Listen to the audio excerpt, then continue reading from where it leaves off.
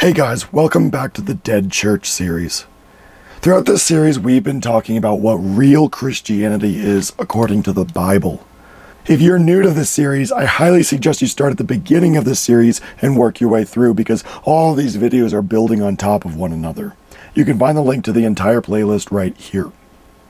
As we've seen, the radical lifestyle seen in Acts 2 and 4 was taught by the apostles from the very beginning. It's what real love is. It's what it means to obey God. It's what it means to be a Christian. It's more than just doing nice things, being kind, feeling affection, or trying to be a good person. It's more than just giving what's left over after you look out for yourself. Real love, as taught by the apostles, is when you sell your possessions, you give to those in need, you live in equality with one another, and no one has any more than they need, and no one has less than they need. Real love is when you stop looking out for yourself, you give up your own comfort, you give up the nice things you have and enjoy, and you use those resources to help others. Real love is when you begin to follow the example set by Jesus. Real love is when you begin to live in a type of holy communism. That's what we see in the early church. Everyone shared everything. No one was in any need. No one lived in excess. No one thought of their possessions as their own. And everyone looked out for one another rather than themselves. Real love is a love where you are genuinely and completely more concerned about what's good for those around you than you are about what's good for yourself. It's a love where you don't do what's best for you and what you would prefer. You make all of your decisions entirely around what's best for other brothers and sisters. Your life is consumed with them, not yourself. You make your decisions around them, not yourself. You spend your resources on them, not yourself, and you prioritize them, not yourself. Paul said, Christ died for all so that those who live would no longer live for themselves, but for him who died for them and was raised from the dead. He also said, He gave Himself for us so He might ransom us from all wickedness and to make us pure people who belong only to Him. People who are always wanting to do good deeds. And Peter said, Christ bore our sins in his body on the tree so we would stop living for sin and start living for righteousness. Jesus' death was not just about us going to heaven someday. He died so that we would be changed right now in this life. He died so that we would no longer live for ourselves right now in this life. His death and resurrection were about us being set free and changed today. That means we don't make our plans based on what's good for ourselves. We don't use our resources to improve our own lives, and we don't waste our time and energy on doing what we would enjoy. We completely stop looking out for our own interests and we start to look out for the interests of others.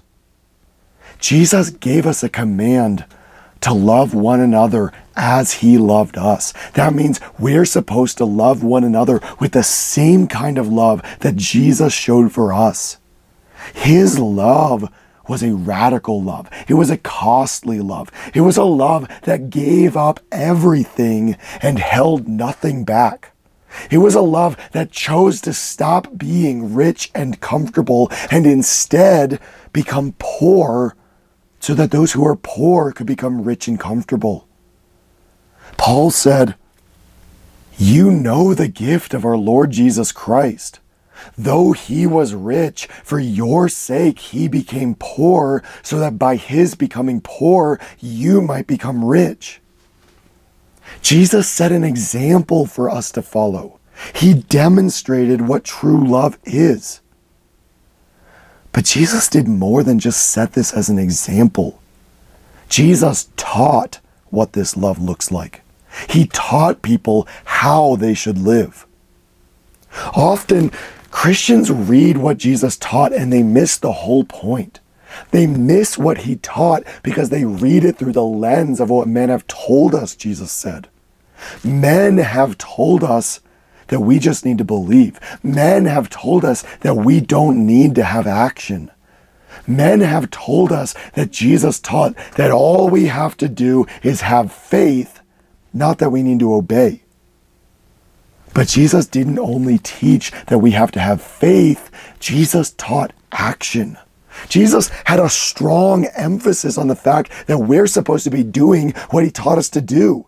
He said, not all those who say to me, Lord, Lord, will enter the kingdom of heaven, but only those who do what my Father in heaven wants. On the last day, many people will say to me, Lord, Lord, did we not prophesy in your name and cast out demons in your name and did many mighty works in your name? Then I will declare to them, I never knew you. Get away from me, you who practice lawlessness. Everyone who hears my words and obeys them is like a wise man who built his house on rock. It rained hard, the floods came, and the winds blew and slammed against that house. But it did not collapse because it was built on rock. Everyone who hears my words and does not obey them is like a stupid man who built his house on sand. It rained hard, the floods came, and the winds blew and slammed against that house, and it collapsed with a big crash. My true brother and sister and mother are those who do what my Father in heaven wants. Why do you call me Lord, Lord, but do not do what I say? Blessed are those who hear the teaching of God and obey it. Those who believe in the Son have eternal life, but those who do not obey the Son will never have life. God's wrath stays on them. If you love me, you will obey my commands. Those who have my commands and obey them are the ones who love me. If people love me, they will obey my teaching. If you obey my commands, you will abide in my love. These are just a few examples. Jesus clearly taught that we are required to obey him and do what he taught. Christians typically read these verses and think, well, yeah, we're supposed to obey Jesus, and Jesus taught us to believe in him. So if we believe, then we're obeying his teaching. But as we've seen earlier in the series, the word believe and the word faith in ancient Greek meant more than how most Christians think of it today. It meant you believed and obeyed. It meant you were loyal, you were faithful, you had fidelity. It meant you were reliable and trustworthy. In fact, the exact same word that's often translated believe is also often translated obey. When Jesus said that we need to obey him, he was not saying, You need to obey my commands, and my commands are for you to believe in me. No, that wouldn't make any sense because in Greek, that would be the equivalent of him saying, You need to obey me, and my commands are for you to obey me. In Greek, it's the same thing. When Jesus said we need to obey him, he was talking about something else. He was talking about action. He was talking about lifestyle. Throughout all four gospel accounts, his commands were all practical things that he wants us to be doing. Those commands are what we must obey. As we saw in the last video, Jesus told the apostles to teach everyone else to obey what he had taught them. So that's what they did. They taught others what Jesus had taught them, and what they taught was a radical kind of love. They taught people to stop looking out for their own interests. They taught people to stop accumulating wealth and possessions for themselves. They taught people to share everything in common. They taught people to give to the poor and needy among them. They taught people to live in equality with one another and not hold on to more than what is needed. The early church adopted a form of holy communism. They devoted themselves to the apostles' teaching. They shared everything in common. They sold their possessions and gave to those in need. No one had more than they needed to live. And as a result, no one had less than they needed to live. There was total equality within the church. Everyone was more concerned about the needs of others than they were about having the nice things that this world offers. Everyone was willing to live at a lesser standard of living so that everyone within the church would have the basic essentials for life. They sold their homes, they sold their fields, they sold their possessions, they sold their excess. They took that money and they distributed it to anyone who had any needs. They didn't hold back and they didn't hesitate. The apostles taught people these things because that's what Jesus had taught them. Jesus taught his disciples to live in radical love. Everywhere Jesus went, he instructed those who followed him to live in this kind of love, to sell their possessions, to share with those in need, and to stop accumulating wealth and comfort for themselves. All four gospel accounts are filled with these instructions. Jesus taught people what true love is. And this teaching was an integral part of his mission. In order for us to really understand what Jesus taught, it's important to recognize more the big picture of what Jesus came to do. So let's step back for a moment to see the context of Jesus' ministry. Jesus came at a time when the Jewish people were anticipating the arrival of God's kingdom. They expected the Messiah to come.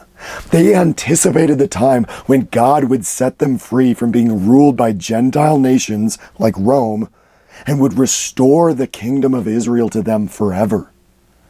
When Jesus came, he announced to the Jewish people, the time is fulfilled. The kingdom of God is at hand repent, and believe the good news. The good news Jesus preached was that the kingdom was at hand. That phrase, at hand, meant it was near, it was arriving. The prophets had all prophesied that the day would come when God would restore his kingdom. It would be ruled by a descendant of David and it would never be destroyed again. Jesus announced that that time had come the kingdom of God, promised by God through the prophets, had finally arrived. That's the good news Jesus proclaimed. That's the gospel his disciples preached. Matthew wrote, Jesus traveled through all the towns and villages, teaching in their synagogues, proclaiming the good news about the kingdom. And Luke recorded, Jesus called the twelve together he sent them out to proclaim God's kingdom and to heal the sick. So the apostles went out and traveled from town to town, proclaiming the good news and healing people everywhere. So the good news or gospel that Jesus and the apostles all preached was that God's kingdom had arrived. The time had finally come to fulfill what the prophets had promised. God was going to gather his people together again and make them one nation belonging only to him. John recorded that Caiaphas, the high priest, prophesied about Jesus without even realizing it. Caiaphas had said, It is better for one man to die for the people than for the whole nation to be destroyed. And John explained, Caiaphas did not say this from himself as high priest that year, he was really prophesying that Jesus would die for their nation and for God's scattered children to bring them all together and make them one. This is exactly what the prophets had foretold. God was going to gather the scattered people of Israel together and make them one. He would reestablish his kingdom. In the Old Testament, the kingdom of God was the kingdom of Israel. It was a nation that belonged only to God. It was a nation of people God had chosen for himself. Jesus was saying that the time had come for God to reestablish that nation for himself. He was reestablishing the nation of Israel. And Jesus would be the king, which is why he was often referred to as the king of the Jews and the king of Israel. But Jesus clarified that things would be slightly different than they had been before. Though he was reestablishing the kingdom of God, it wouldn't be quite the same as it had been before Babylon. He said, My kingdom does not belong to this world. If it belonged to this world, my servants would have fought to keep me from being handed over to the Jews. But my kingdom is from another place. Unlike the original nation of Israel, which was a real physical kingdom, Jesus established a kingdom that doesn't belong to this world. It's a kingdom from another place outside of this world. He also said, God's kingdom is coming, but not in a way that you'll be able to see with your eyes. People will not say, Look, here it is, or there it is, because God's kingdom is within you. Okay, the Jews expected the physical nation of Israel to be restored. They anticipated a physical nation in this world. They expected a physical king to rule from the earthly Jerusalem. But Jesus came with a different kind of kingdom. It isn't seen with the eyes and it doesn't belong to this world. It's a spiritual kingdom ruled by Jesus who is seated at the right hand of God in heaven. Its capital city is not the earthly Jerusalem. It's the heavenly Jerusalem, the city planned and built by God. So here's what we must realize the kingdom of God existed in the Old Testament, it was the nation of Israel. They were God's people and they had God's law. They were different than all the other nations of the world because they obeyed God's law and they lived the kind of life that God considers to be right. But after they broke God's law and turned away from Him, God promised them that He would one day make a new covenant with them and reestablish them as His nation again. But this time, instead of giving them written laws that they need to follow, God promised them I will put my laws in their minds and write them on their hearts. God wouldn't get rid of the law. He would give the law to his people in a new way. He would write it on their hearts. He would turn them into people who want to do what God wants, rather than people who merely try to follow all the rules. This promise was fulfilled through the Holy Spirit. As Paul said, Jesus gave himself for us so he might ransom us from all wickedness and to make us pure people who belong only to him. People who are always wanting to do good deeds. Paul also said, the whole law is summed up in this one command love your neighbor as you love yourself. So I tell you, walk by the Spirit. Then you will not do what your flesh wants. Jesus established a kingdom of people who have God's law written on their hearts. They now want to do good deeds. They now want to live for Him. They no longer live for themselves, they live for Him. They walk by the Spirit, living in love, and therefore they live a life that fulfills the entire law of Moses. Paul said, Always owe love to each other because the person who loves others has fulfilled all the law. For the law says you must not be guilty of adultery, you must not murder anyone, you must not steal, you must not want to take your neighbor's things. All these commands and all others are really summed up in this one command love your neighbor as you love yourself. Love never hurts a neighbor, so loving is fulfilling the law. Christians today have this misconception that Jesus did away with the law of Moses. They miss the point of what Paul meant when he said we're no longer under the law.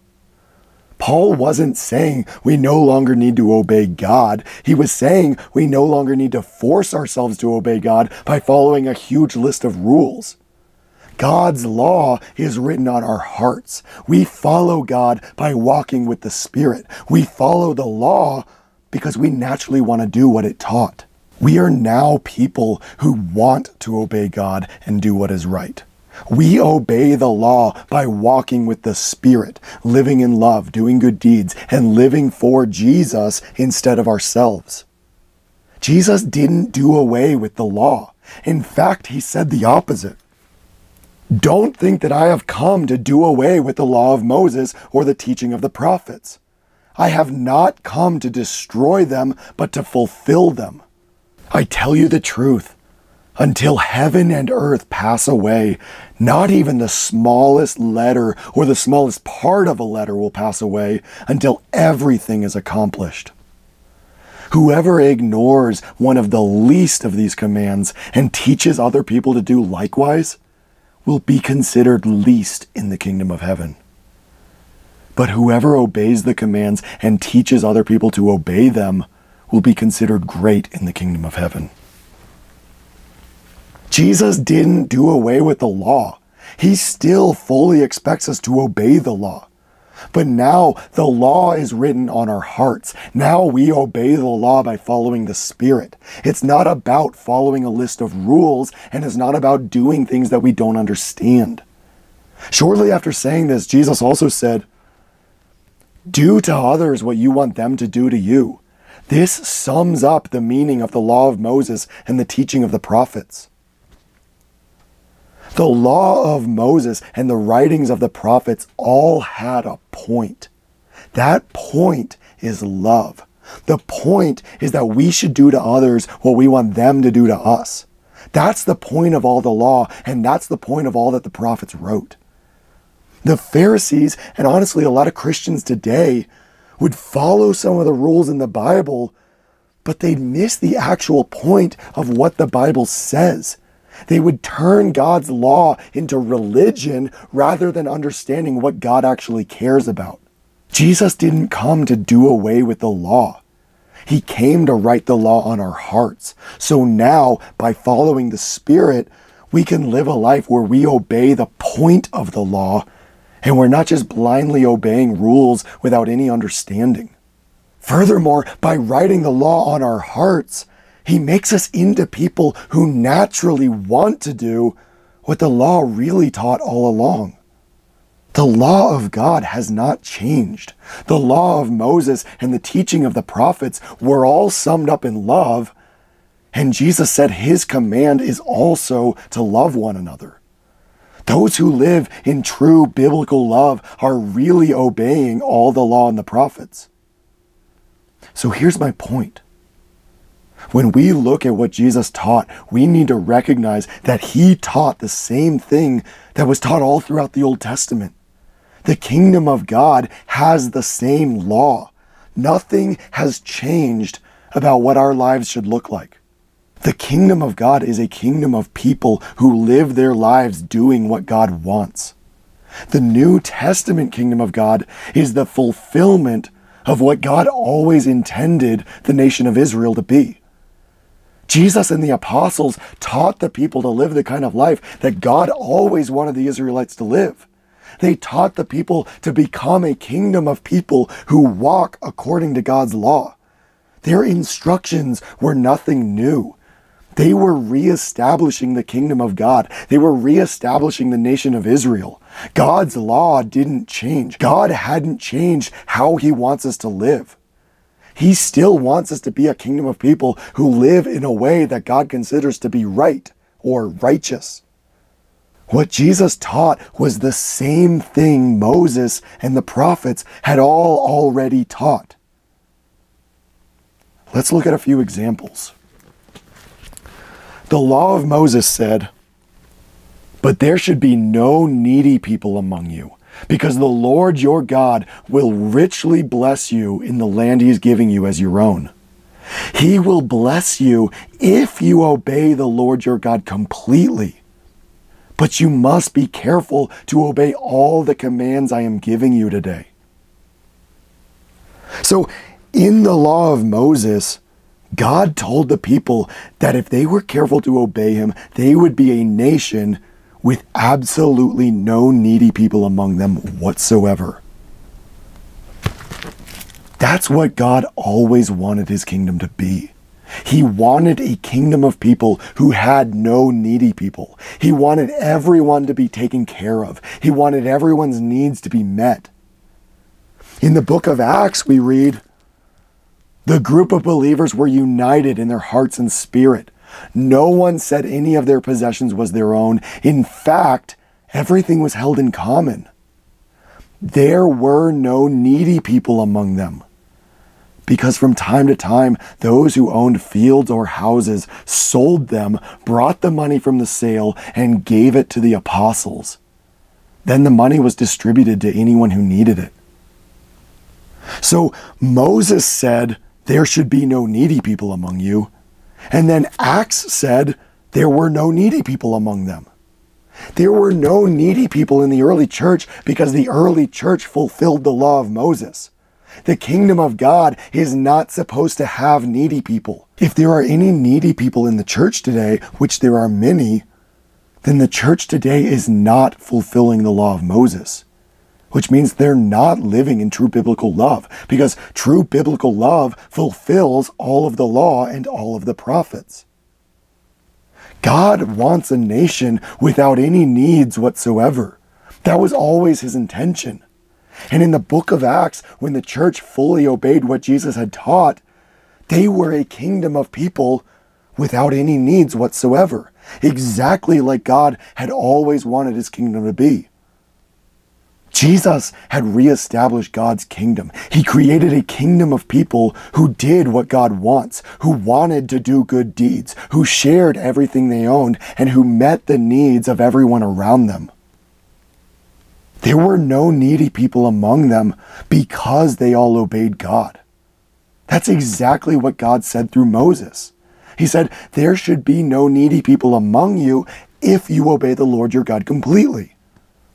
So there's this direct correlation between what Moses said the kingdom of God should be and what the early church was actively doing. The kingdom of God, as established through Moses, was supposed to have no needy people. And the kingdom of God, as established through Jesus, had no needy people. Here's another example. In the law of Moses, it said, If you lend money to one of my people who is poor, do not treat him as a creditor would. Take no interest. Then, when Ezekiel prophesied, he described a righteous man, saying, He does not lend money for interest or profit so, in both the law and the prophets, God said that He wants His people to be people who don't try to profit off the poor. They don't lend to people out of a desire to try to make a profit. He wants people who give to the poor and lend to them because of love, because they want to help. He doesn't want them concerned about whether or not they get anything in return. That's what God wanted with Israel. And then when Jesus came, He said, if you lend things to people always hoping to get something back, what praise should you get?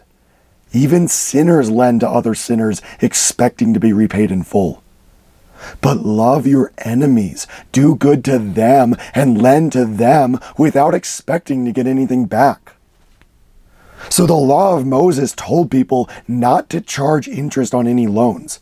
The prophets said the same thing, and then Jesus came not only saying to not charge interest, but also to lend to people without even expecting to be repaid. Jesus taught the same thing Moses had already taught.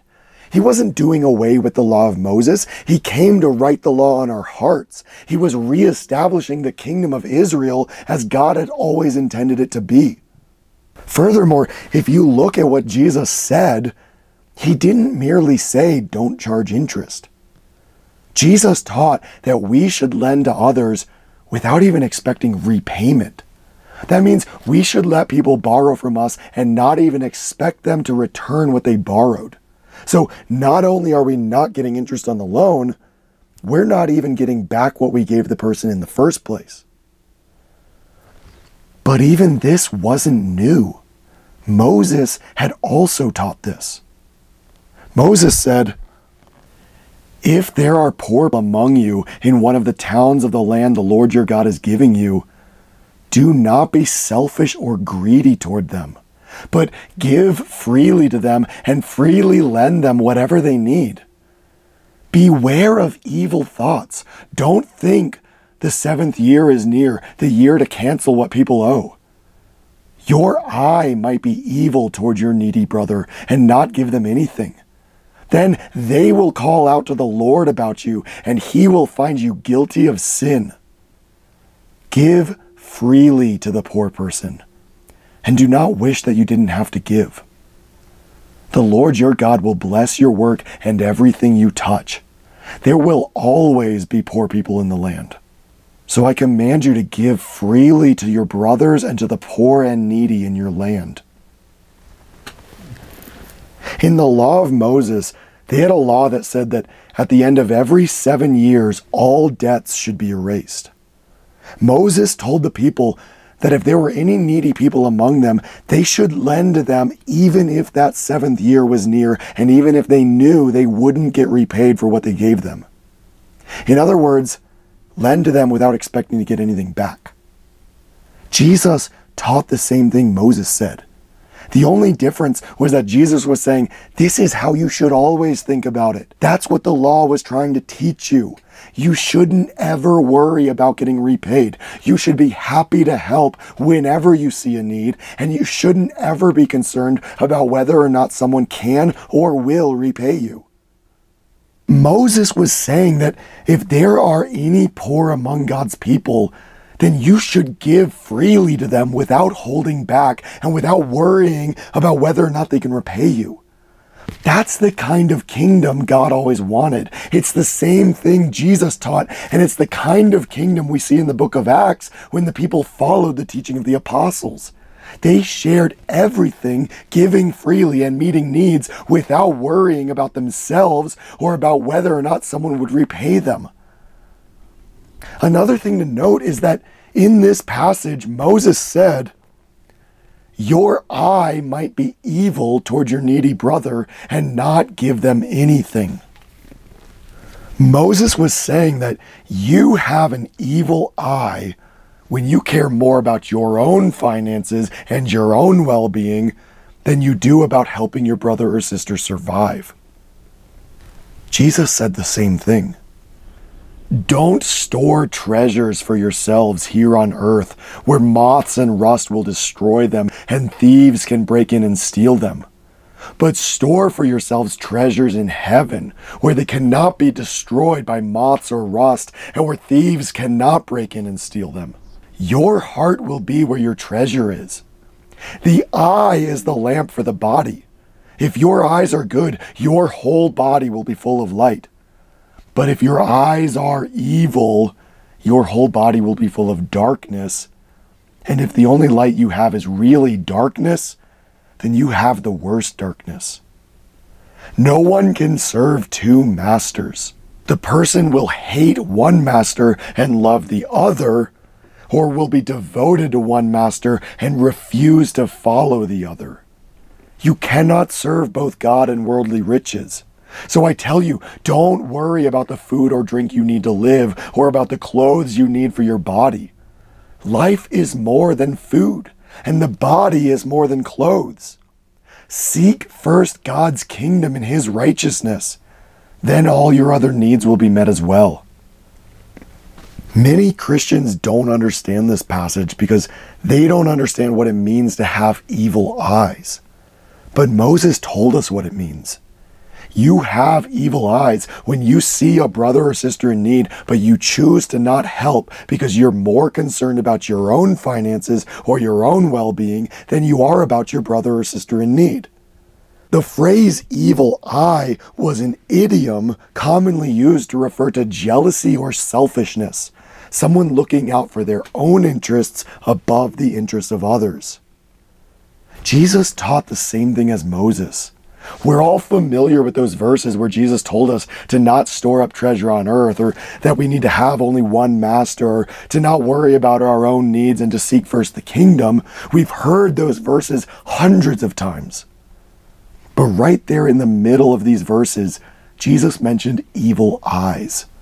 He was saying you shouldn't be someone who looks out for your own interests above the interests of others. You shouldn't be selfish. You should help the brothers and sisters in need, just like Moses said. That means that when Jesus taught these other things we're also familiar with, storing up treasure in heaven, not loving money, not worrying about our own needs, and seeking first the kingdom, his point was that we should look out for the needs of one another and not look out for ourselves or do what's in our own best interest. In other words, by saying evil eyes in the midst of this context, he was saying, don't store up treasure on earth, give freely to those who are in need. You cannot serve both God and worldly riches, so give freely to those who are in need. Give freely to those who are in need without worrying about your own needs, what you're going to eat, what you're going to drink, what you're going to wear. If you seek first God's kingdom and his righteousness, God will take care of your own needs. Jesus was telling us to have good eyes, not evil eyes. His point was not just don't love money. His point was that we should give freely to the poor, just like Moses told us to. And just like we see throughout the early church and the rest of the New Testament, he said that if your eyes are evil, your whole body will be full of darkness. And if the only light you have is really darkness, then you have the worst darkness. John said the same thing. Anyone who claims I am in the light but hates a brother or sister is still in the darkness. Whoever loves a brother or sister lives in the light, and there is no cause of stumbling in him. But whoever hates a brother or sister is in darkness, lives in darkness, and does not know where to go because the darkness has blinded his eyes. John and Jesus were saying the same thing. You are in the light if you have good eyes. Or, in other words, you're in the light if you help the brothers and sisters in need with no regard for yourself but you're in the darkness if you have evil eyes. Or, in other words, you're in the darkness if you ignore their needs and take care of your own interests first. John taught the same thing as Jesus, and Jesus taught the same thing as Moses. Jesus taught people to live the way that God wanted his people to live from the very beginning. He taught us to love others and look out for their needs instead of looking out for our own needs. He taught us to live the kind of life that Moses taught the people to live. He taught us the point of the law and the prophets. If we miss the point of what they were saying, then we very well may think that we're in the light when we're really in the darkness. And Jesus said that's the worst kind of darkness. Here are a few more examples of things Moses said. When you harvest your crops on your land, do not harvest all the way to the corners of your fields. If grain falls onto the ground, don't gather it up. Don't pick all the grapes in your vineyards, and don't pick up the grapes that fall to the ground. You must leave those things for poor people and for people traveling through your country. I am the Lord your God. Here, Moses was talking about your own land, your own fields. You've worked hard in your fields. You own them. Everything growing in them belongs to you. But Moses was saying, don't harvest all of it. Don't pick everything. Purposefully leave some of it behind and allow those who are poor to come onto your property and pick your food from your fields without paying for it. Today, most Christians would call that stealing. Christians have the mindset that everyone should have the right to charge for their labor. They have the mindset that no one should ever come onto their property and take anything that belongs to them. Sure, they don't mind giving when they feel like it, but they do not think that someone else has the right to have what they have. But that's not God's perspective. God wants his people giving without holding back. He wants them to allow others to freely take their stuff without hindering them. He wants his people to ensure that everyone else has enough to eat without concern for their own well being. He wants his people to care more about others than they do themselves. That's what it means to live righteously. That's what it means to do to others what you want them to do to you. In God's eyes, everyone should have the right to eat. And if one of his people has more than others, those who have less have the right to meet their needs from the other person's excess. That's part of the law of God's kingdom. And it's summed up in love. When God promised to reestablish the nation of Israel as a people with the law written on their hearts, he was promising to recreate the nation as a group of people who would live this way naturally. He was promising to create a nation of people who, as Paul said, always want to do good deeds. He was promising to create a nation in which those who are rich use their riches to do good deeds and generously share with others. Moses also wrote, at the end of every third year, everyone should bring one tenth of that year's crop and store it in your towns. This is for the Levites so they may eat and be full. They have no land of their own among you. It is also for foreigners, orphans, and widows who live in your towns, so that all of them may eat and be full. Then the Lord your God will bless you and all the work you do. God wanted every single person who lived in his kingdom to bring a portion of what they grew and store it for those who didn't have their own means of providing for themselves. The point of this law was love. It was to give to those who needed help. It was to show kindness and compassion. This is the true purpose of tithing.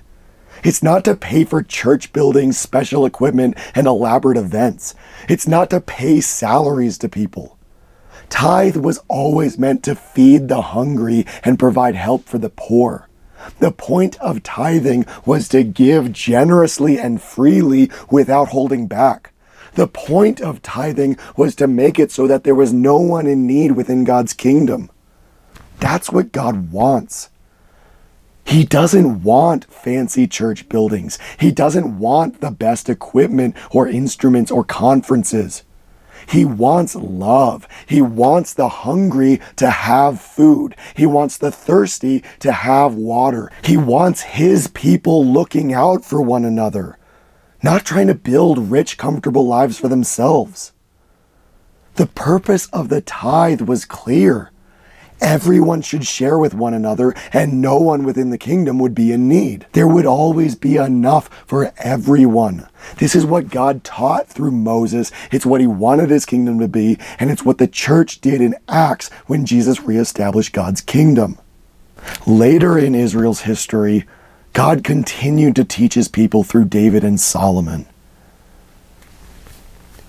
The wicked borrow and don't pay back, but the righteous give freely to others.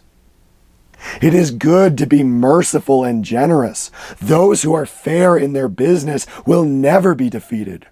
Righteous people will always be remembered. They give freely to the poor. Their righteousness will continue forever. They will be given great honor. Whenever you are able, do good to people who need help. If you have what your neighbor asks for, don't say, Come back later, I will give it to you tomorrow. The wicked want what other evil people have stolen, but good people want to give what they have to others. Whoever mistreats the poor insults their maker, but whoever is kind to the needy honors God. Righteous people give without holding back. Righteous people care about justice for the poor, but the wicked are not concerned. The righteous give freely to others. They give freely to the poor. They don't hesitate. They don't delay. They want to give what they have to others, not hold on to it for themselves. They honor God by being kind to the needy. They give without holding back. They care about justice for the poor. These are the things God cares about. This is the kind of life God values. This is what God always wanted his kingdom to be. But the people of Israel refused. They wanted to grow richer. They wanted to increase their own standard of living. They began to look out for themselves. They began to increase their own wealth. So God sent the prophets to them. Your rulers are rebels. They don't defend the cause of the orphans or listen to the widow's needs. What gives you the right to crush my people and grind the faces of the poor into the dirt? The vineyard belonging to the Lord of heaven's armies is the nation of Israel, and the people of Judah are the garden that he loves. He looked for justice, but there was only injustice. He hoped for righteousness, but there were only cries of distress. Woe to you who add more houses to your houses and more fields to your fields until no space is left. Woe to those who make unjust laws and those who write laws that make life hard for people. They withhold justice to the poor and they deprive my people of their rights. I will tell you the kind of fast I want. Free the people you have put in prison unfairly and undo their chains. Free those to whom you are unfair and stop their hard labor. Share your food with the hungry and bring poor, homeless people into your own homes. When you see someone who has no clothes, give him yours and don't refuse to help your own relatives. Then your light will shine like the dawn, and your wounds will quickly heal. Your righteousness will walk before you, and the glory of the Lord will protect you from behind. Then you will call out, and the Lord will answer. You will cry out, and he will say, Here I am if you stop making trouble for others, if you stop speaking wickedness and pointing your finger at others, if you feed those who are hungry and take care of the needs of those who are troubled, then your light will shine in the darkness and you will be bright like sunshine at noon. The Lord will always lead you. He will satisfy your needs in dry lands and give strength to your bones. You will be like a garden that is well watered like a spring that never runs dry. The people of Israel were fasting to God and praying to Him, but He wasn't listening to them.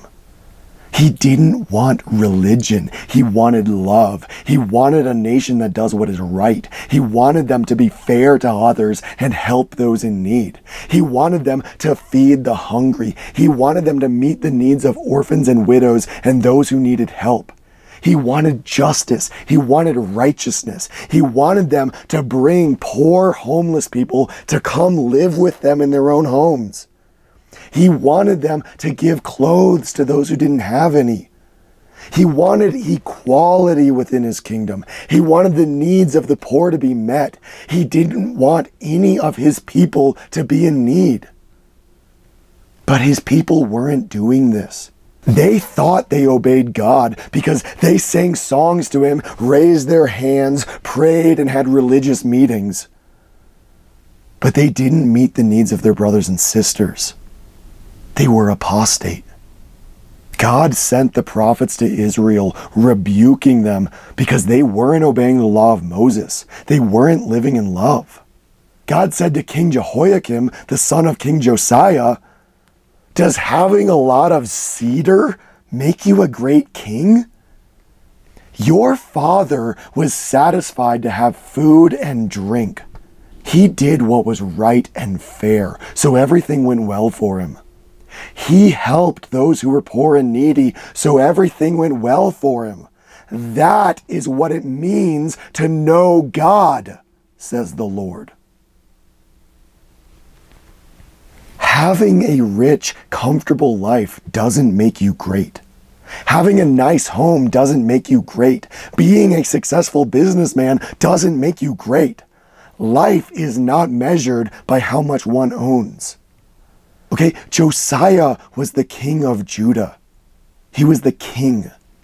But he was content to just have the food and drink he needed.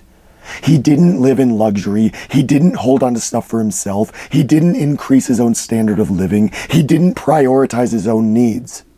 He lived simply. He helped the poor. He met the needs of the needy. He looked out for others above himself. He gave up his own comfort and his own resources and his own excess to meet the needs of those living in God's kingdom. And God said, that is what it means to know God. Or as John said, if we say we have fellowship with God, but we continue living in darkness, we are liars and do not follow the truth. Anyone who says, I know God, but does not obey his commands is a liar, and the truth is not in that person. If people say, I love God, but hate their brothers or sisters, they are liars. Those who do not love their brothers and sisters whom they have seen cannot love God whom they have never seen. And God gave us this command. Those who love God must also love their brothers and sisters. Nothing has changed. God still wants a kingdom of people who live the way Josiah lived, who give up their own standard of living because they're more concerned about others than they are themselves. That's what it means to know God. If you don't live that way, you don't know God. Even if you say you do, even if you think you do.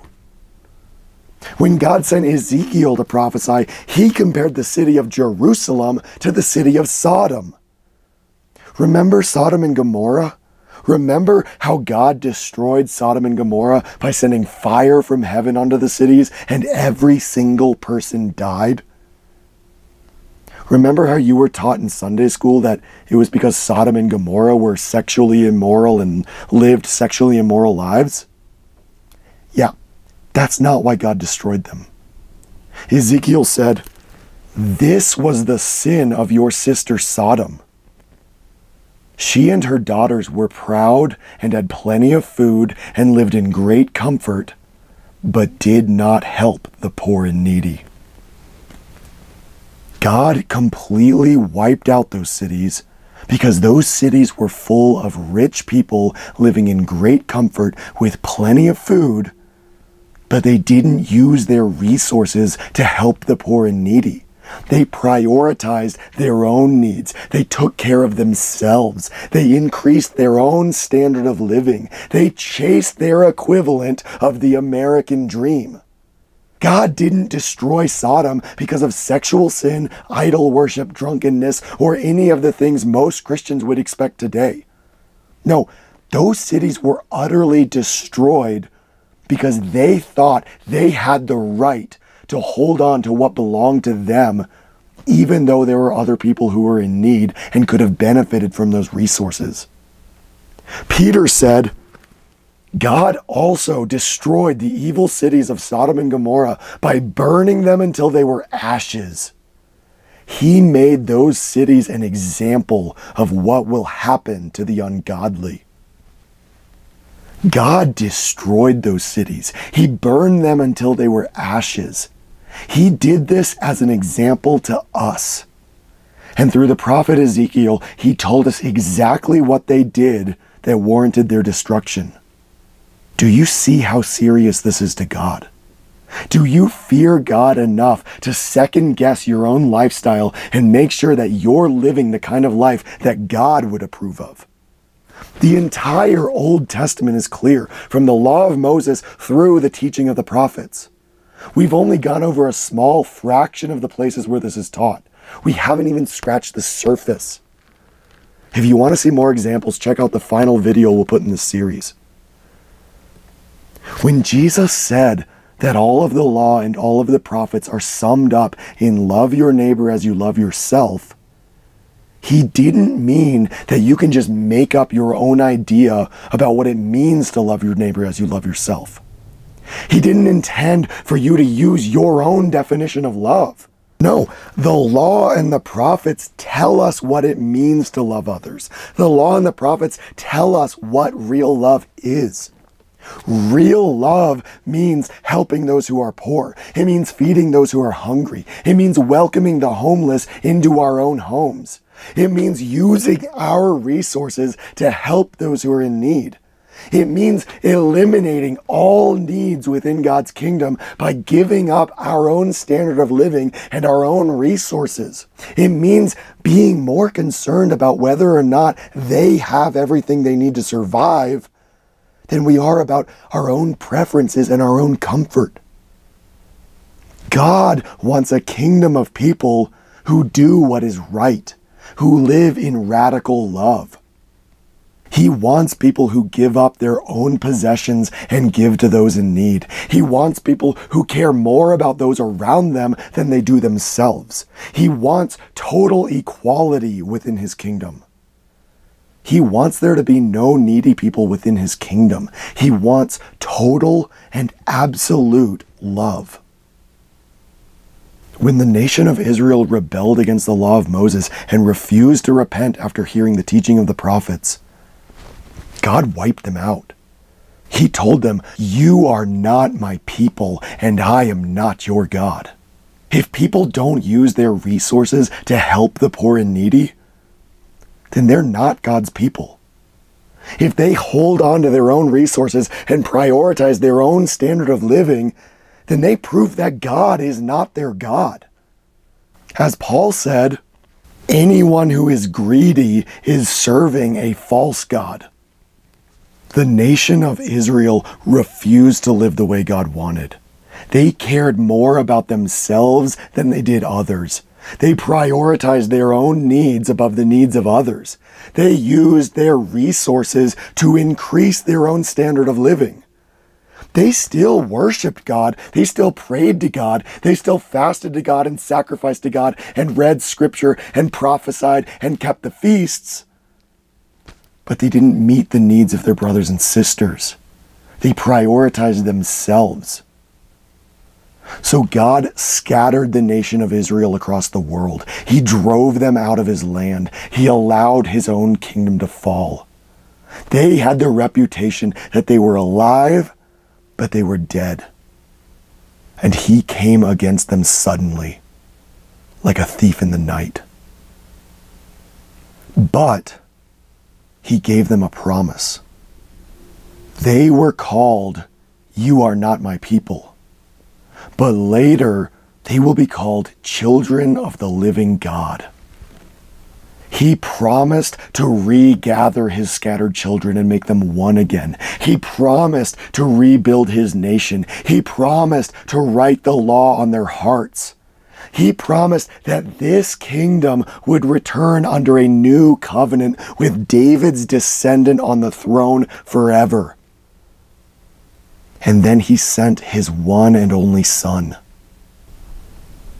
Jesus didn't teach, believe in me and you'll be saved. At least not in the modern sense that most Christians think today.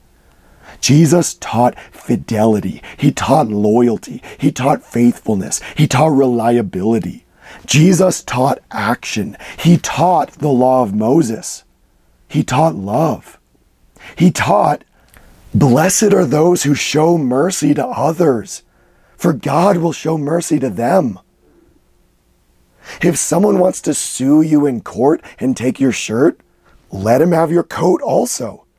If someone forces you to go with him one mile, go with him two miles. If a person asks you for something, give it to him.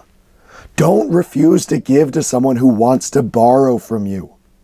Those who give one of these little ones so much as a cup of cold water because they are my followers will truly get their reward.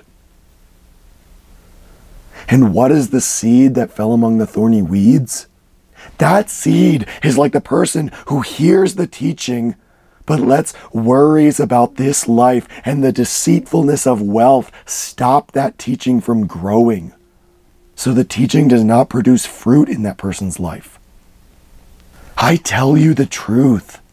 You must change and become like little children.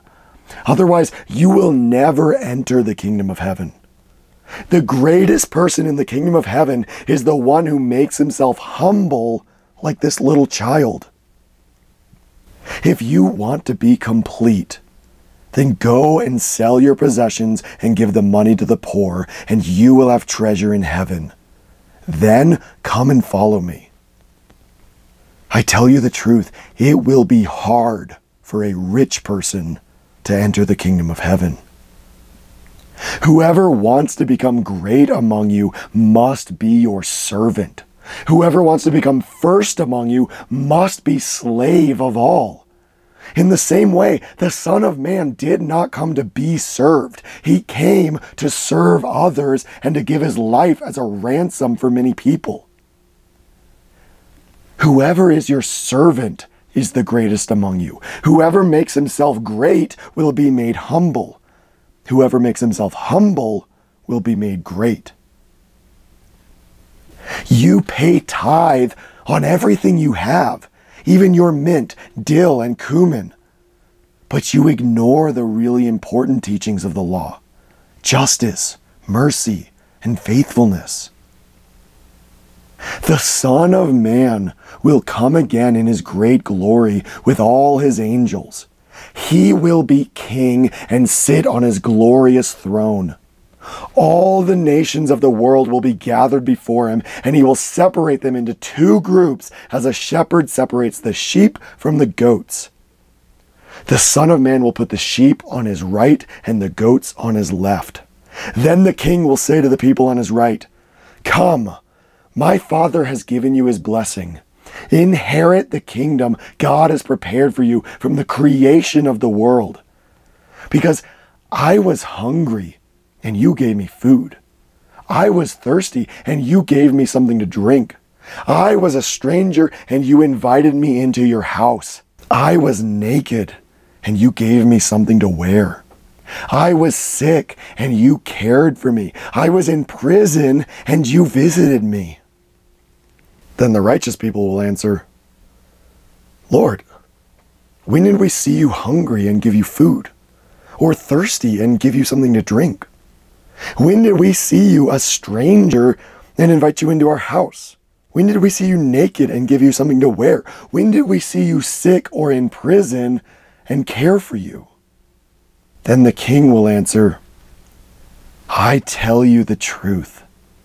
Anything you did for even the least of my brothers and sisters, you also did for me. Then the king will say to those on his left, Go away from me. You are cursed. Go into the eternal fire that was prepared for the devil and his angels. Because I was hungry and you gave me nothing to eat. I was thirsty and you gave me nothing to drink. I was a stranger and you did not invite me into your house. I was naked and you gave me nothing to wear. I was sick and in prison and you did not care for me. Then those people will answer, Lord, when did we see you hungry or thirsty or, a stranger or naked or sick or in prison? When did we see these things and not help you? Then the king will answer, I tell you the truth. Anything you refuse to do for even the least of my people here, you refuse to do for me. These people will go off to eternal punishment, but the righteous to eternal life. Look at what Jesus taught. He taught that if we show mercy to others, God will show mercy to us. He taught that we should give freely without holding back to anybody, even if they're mistreating us. He taught that we would get a reward if we so much as gave a cup of cold water to someone because they were part of God's kingdom.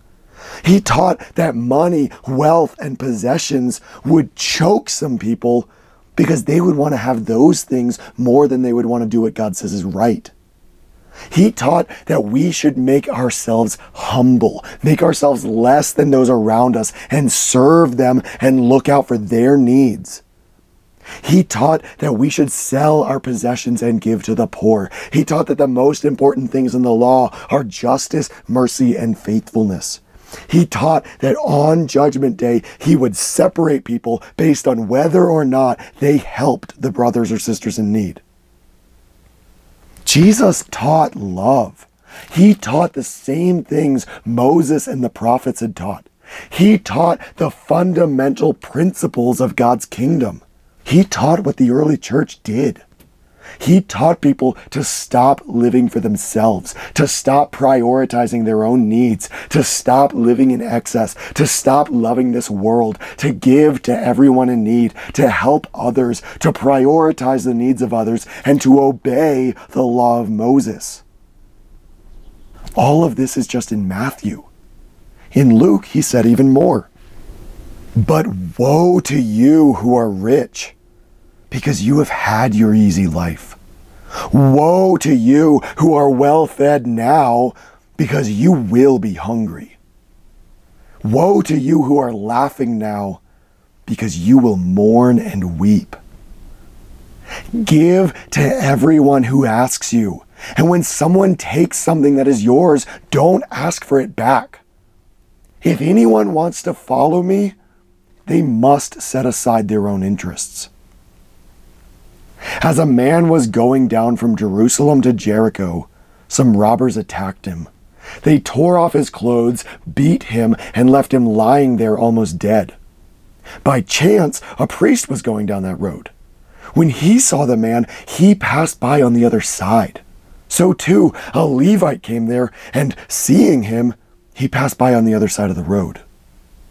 Then a Samaritan traveling down the road came to where the hurt man was. When he saw the man, he felt compassion for him. The Samaritan went to him, poured olive oil and wine on his wounds, and bandaged them. Then he put the hurt man on his own donkey and took him to an inn where he cared for him. The next day, the Samaritan brought out two coins, gave them to the innkeeper, and said, Take care of this man. If you spend more money on him, I will pay it back to you when I come again. Then Jesus said, which one of these three men do you think was a neighbor to the man who was attacked by the robbers? The expert on the law answered, The one who showed him mercy. Jesus said to him, Then go and do what he did. Be careful and guard against all kinds of greed. Life is not measured by how much one owns. Sell your possessions and give to the poor. Make for yourselves money bags that will not wear out, the treasure in heaven that never runs out, where thieves can't steal and moths can't destroy. Your heart will be where your treasure is. When you give a lunch or a dinner, don't invite only your friends, your family, your other relatives, and your rich neighbors. At another time, they will invite you to eat with them, and you will be repaid. Instead, when you give a feast, invite the poor, the crippled, the lame, and the blind. Then you will be blessed because they have nothing and cannot pay you back. But you will be repaid at the resurrection of the righteous. You must give up everything you have to be my follower. Those who try to keep their lives will lose them but those who give up their lives will save them. Jesus taught that it'll be terrible for you if you're rich and enjoying a relatively easy life where you have everything you need and you're well fed and you're laughing. You've worked hard to make sure you have everything you need. Meanwhile, others around you are struggling to survive. It'll be terrible for you because you didn't obey his commands. You looked out for your own interests instead of the interests of others. He taught that we should give to every single person who asks. More than that, he taught that if someone takes something that belongs to us, we shouldn't even ask for it back. He taught that in order to follow him, we must set aside our own interests. That means we're no longer people who look out for ourselves. We're no longer people who make our decisions based on what's good for us. We must be people who stop looking out for our own well being and are more concerned about the needs of others. He taught that we should show mercy to others and help when we see someone in need.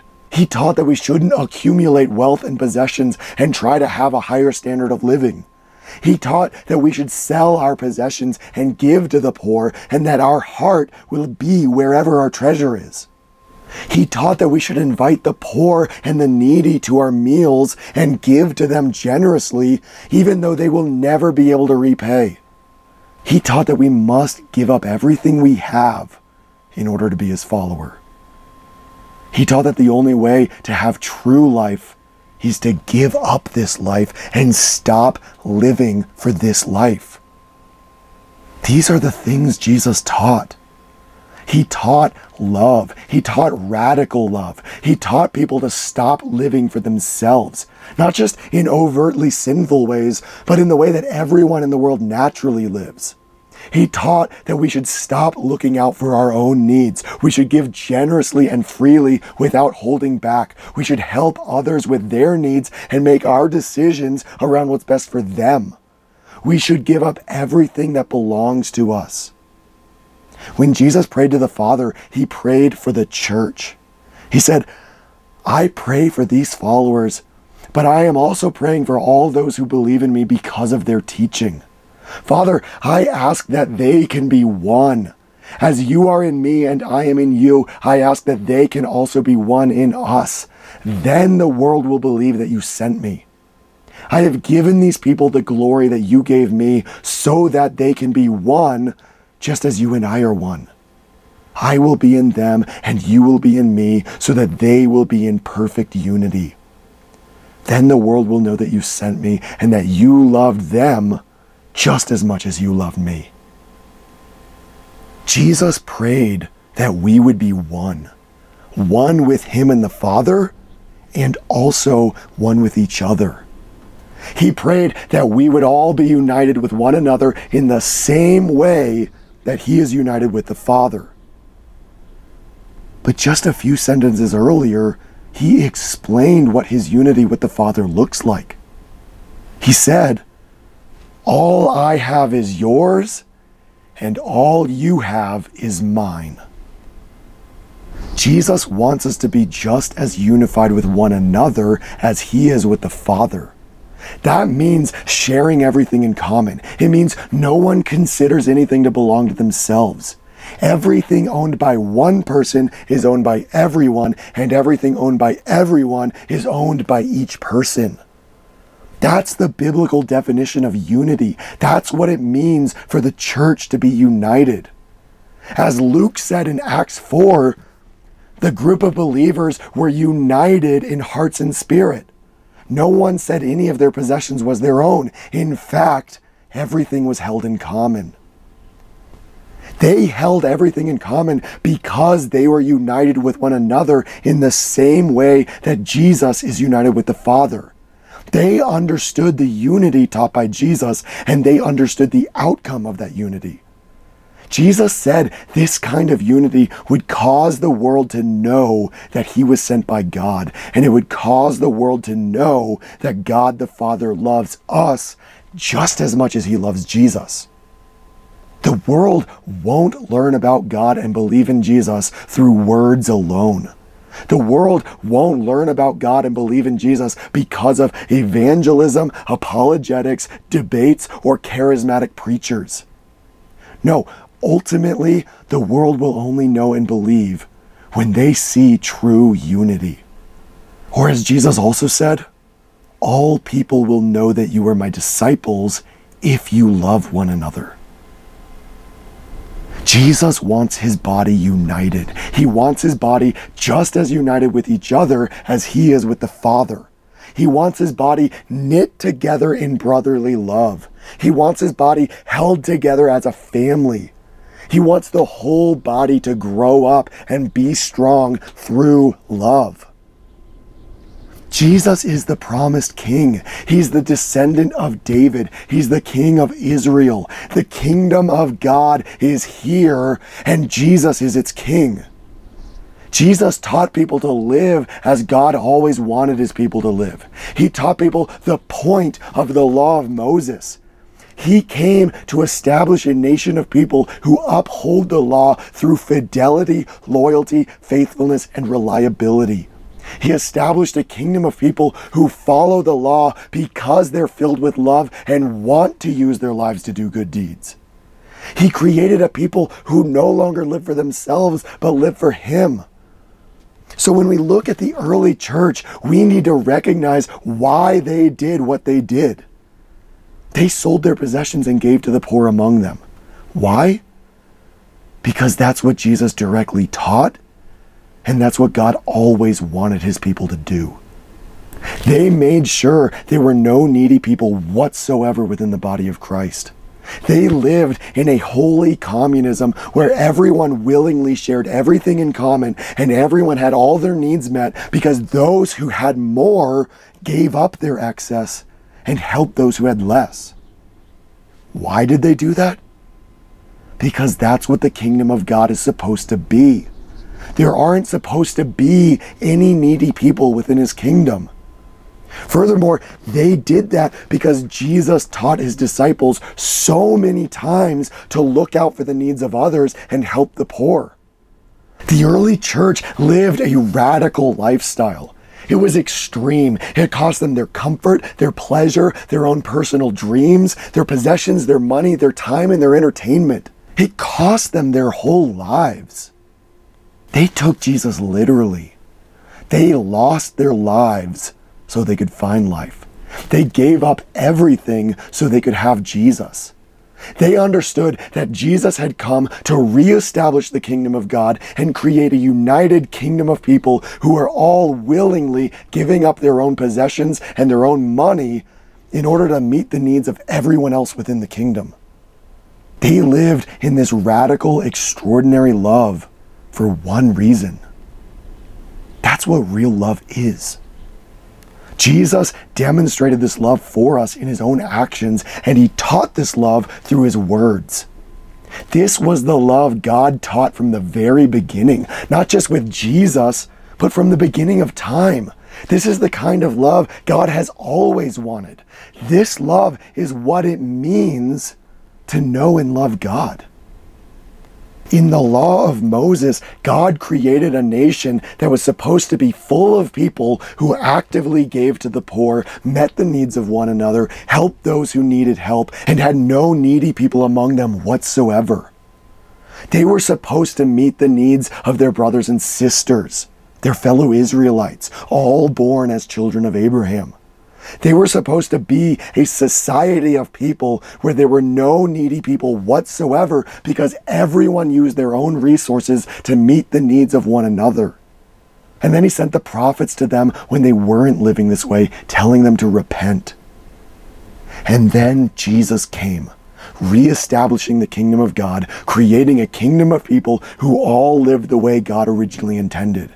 He taught the same thing God had always wanted he taught the people to meet the needs of their brothers and sisters, the citizens of God's kingdom, all born as children of God. He taught them to be a society of people where there were no needy people whatsoever. He taught them to use their own resources to meet the needs of one another. The apostles then taught this to the early church, and the early church lived it out. They sold their possessions to help the poor. They welcomed strangers into their homes. They made sure there were no needy people among them. They lived in total equality with one another. They lived that way because that's what the kingdom of God is. That's what God always wanted his people to do. That's what Jesus came to establish. Anyone who does not live that way is not in God's kingdom. All the law, all the prophets, and all of the New Testament teach us what real love is. unless you live in the kind of love God wants, then you're not living in true biblical love. So many Christians think they're obeying Jesus when they're not. They use their own definition of love, or they don't let love define their entire lives. For example, they give to homeless people, they help drug addicts, or they do some sort of ministry for needy people. But then when they're done, they go home to their comfortable life, their high paying careers, their nice car, and all their other worldly possessions. They go back to pursuing the American dream for themselves. They go back to looking out for their own interests. That is not what it means to follow Jesus. Yes, we should help the homeless. Yes, we should help the lost. Yes, we should help the drug addicts and the oppressed of this world. Yes, all those things are things we should do. But first and foremost, the kingdom of God is supposed to be a kingdom of people who have no needs whatsoever because everyone in the kingdom is looking out for the needs of everyone else rather than themselves. The church is supposed to be one body, one family. The church is supposed to be completely united. The church is supposed to be recognized by their radical love. A love that stops living for this world. A love that creates an alternative society of people where no one has any needs. Christians can't do ministry and then return to their old normal lives. If they're returning to an American lifestyle, then their old life never died with Jesus. The first church lived with one heart and one mind. They shared everything in common, and no one held on to more than the bare essentials for themselves. No one accumulated wealth. No one accumulated possessions. No one planned for retirement. No one sat around enjoying the entertainment and pleasure of this world. No one tried to have a nicely decorated home and no one was in need. That's what it means to follow Jesus. That's what it means to live in love. That's what it means to know God. Christianity today has become far too individualistic. It's become completely internal and personal. Christians think of it as this private matter between an individual and God. They have the mindset of, I become a Christian, I love God, I read my Bible, I believe in God, I sing songs to God, and I pray. That's not true Christianity. Biblical Christianity was always about the body as a whole. It was about the community. It was about the kingdom. It was outward focused. It was about everyone else. It was about everyone looking out for each other. It was about prioritizing one another. It was about love. True Christianity is not at all an interpersonal private matter. True Christianity is about the congregation as a whole, the entire body of Christ. It's about everyone doing what is best for one another. It's about the entire kingdom. It's where everything about your personal relationship with God is about what's good for others and not what's good for yourself. The Bible is very clear that the gospel preached by Jesus and the apostles was that God's kingdom had arrived. God was reestablishing the nation of Israel, gathering his scattered people from all the nations and making them one. The kingdom of God, as preached in the New Testament, is the same kingdom it was in the Old Testament. And it has the same law. But this time, God wrote his law on the hearts of his people. This time, he made them into a people who want to do what is right. This time, instead of giving laws and rules for people to follow, he gave his people his spirit to lead them into true love. God's kingdom is all about love. God's kingdom is a kingdom of people who live in true biblical radical love. Just like Moses instructed in the law, just like David and Solomon wrote in Psalms and Proverbs, and just like all the prophets taught throughout all their writings. The early church lived in that radical holy communism because that's what God wants his kingdom to be. That's what he always wanted his kingdom to look like. That's what true Israel is. And that's what our king wants his people to do. True biblical radical love is when we follow the example of Jesus. Jesus had everything. He was rich, he was in the form of God, but he gave it all up. He made himself nothing. He became a slave and he died. Why? Because we were in need. Jesus showed us what true love is. He demonstrated it for us. He commanded us to love one another with that same kind of love. The kingdom of God is here. It's a kingdom of people who live in the radical love of Jesus. Anyone who doesn't live in God's love is not part of God's kingdom. We can be sure that we know God if we obey His commands. Those who do not love their brothers and sisters are not God's children.